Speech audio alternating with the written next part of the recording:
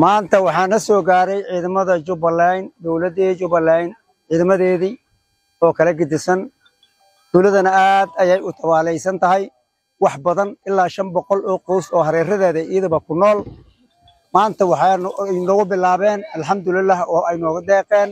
Biyo booyade eh ayay nooga deeqeen. Oo haddaba warbaahinta aad ka arkaysaan in oo micnaha biyo la shubaaya marka cid kasta ciddii micnaha oo dadka islaamka wax taarata waa loo mahad celinaa ninkaas ka ahaadaba ha ka ahaada.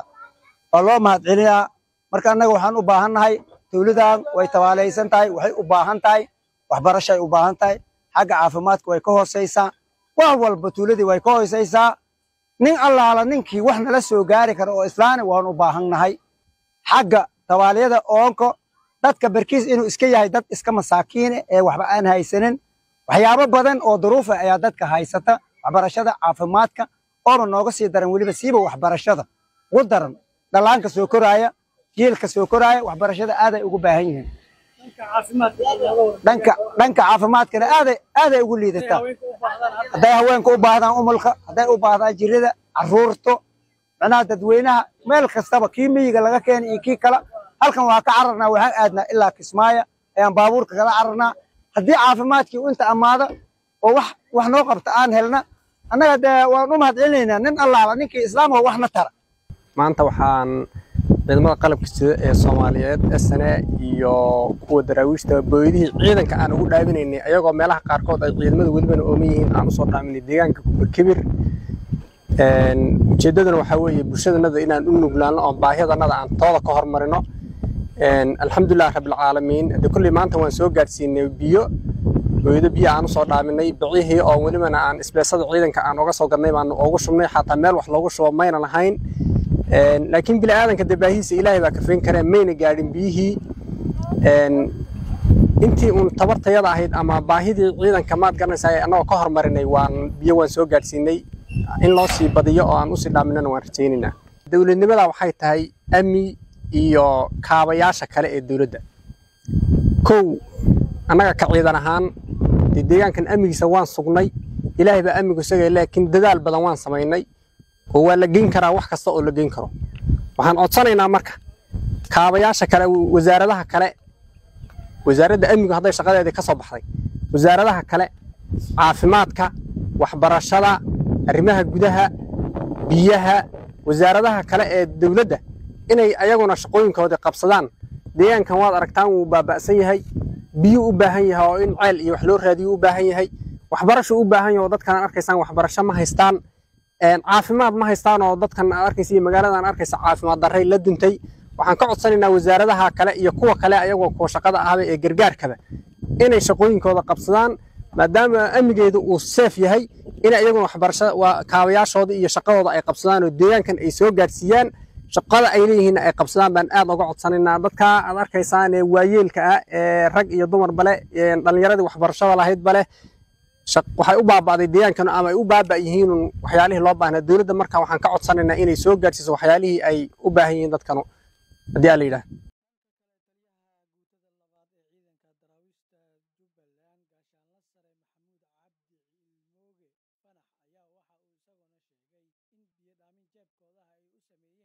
dadka shacabka ee ay ku sugan kuuba kibir iyo deegaano hoos yimaada. Taliyaha ayaa wuxuu dowladda iyo hay'adaha qaabilsan u adeegidda bulshada ka codsaday in la gacan qabto dadka duruufaysan.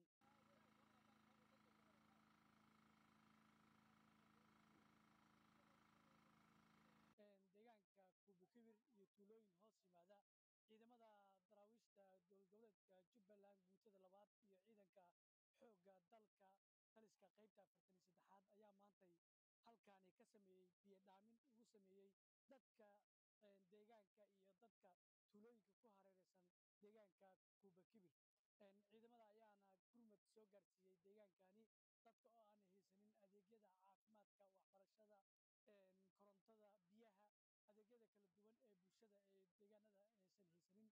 Waxay bulshada deegaankani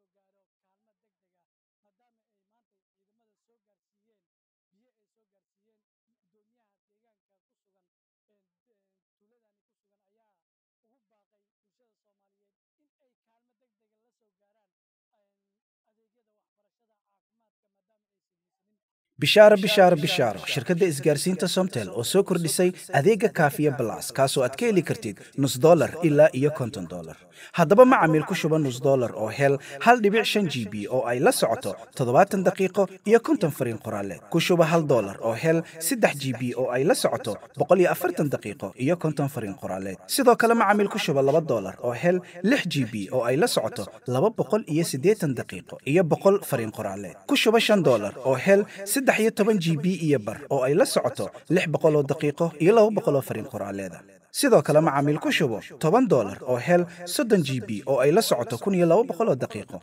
iyo saddex boqol fariin qoraaleed. Ku shubo labaatan dolar oo hel toddobaatan g b oo ay la socoto laba kun iyo afar boqol oo daqiiqo iyo saddex boqol s m s. Sidoo kale macaamiil ku shubo konton dolar oo hel boqol iyo konton g b oo ay la socoto lix kun oo daqiiqo iyo saddex boqol s m s. Adeega kaafiye blas waxaad ugu shuban kartaa idahab xidig hal eber hal afar geys. Airtime xidig laba boqol afar geys. Reseller xidig saddex boqol afar geys. Shirkadda isgaarsiinta somtel oo aad ka heli karto internet qiimo jaban tayo sare leh misna laysku haleyn karo